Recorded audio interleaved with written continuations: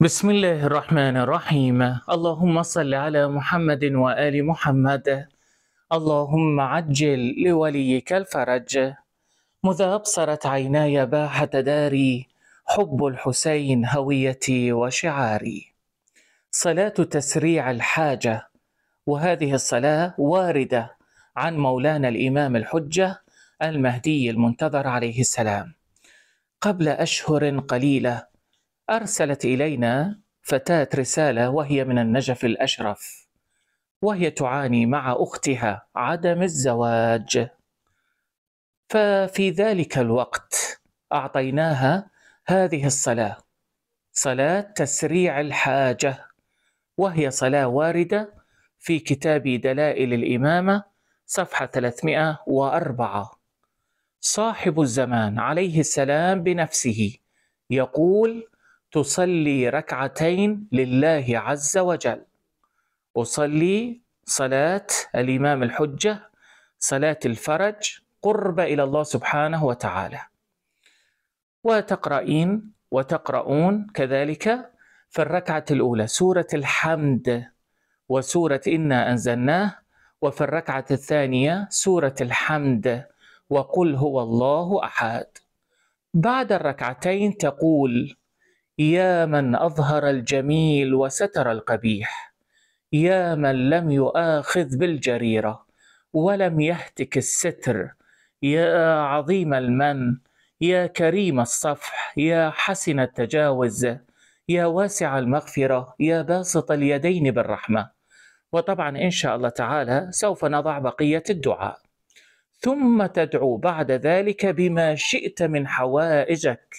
فيستجيب الله سبحانه وتعالى لدعائك.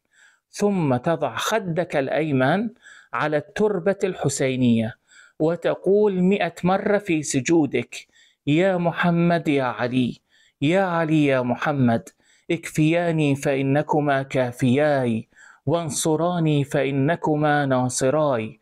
ثم تضع خدك الأيسر على التربة الحسينية وتقول مئة مرة أدركني أدركني أدركني.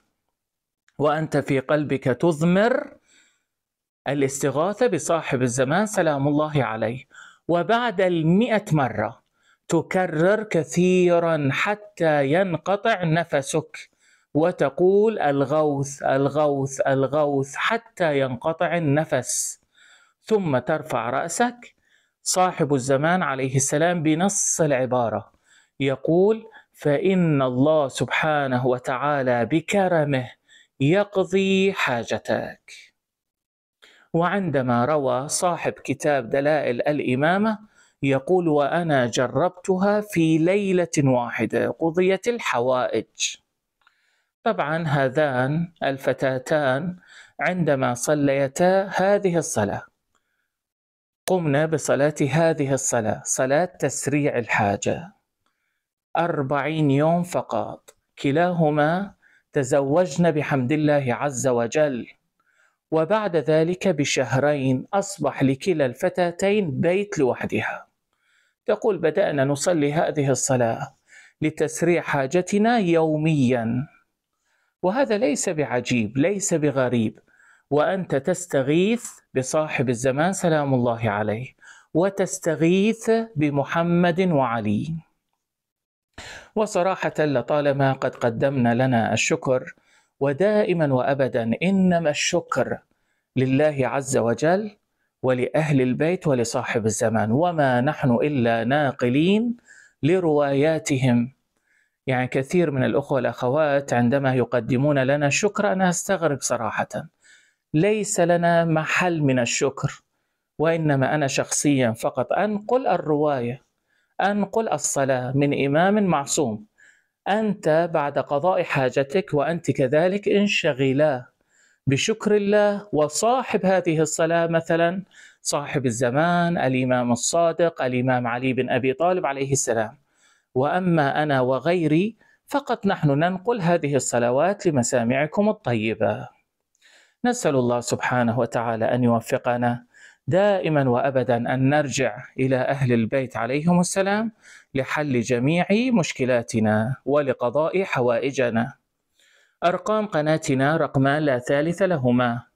على خدمة الواتساب للرسائل الصوتية والكتابية فقط وليس للاتصال. صفر سبعة سبعة ستمية ميتين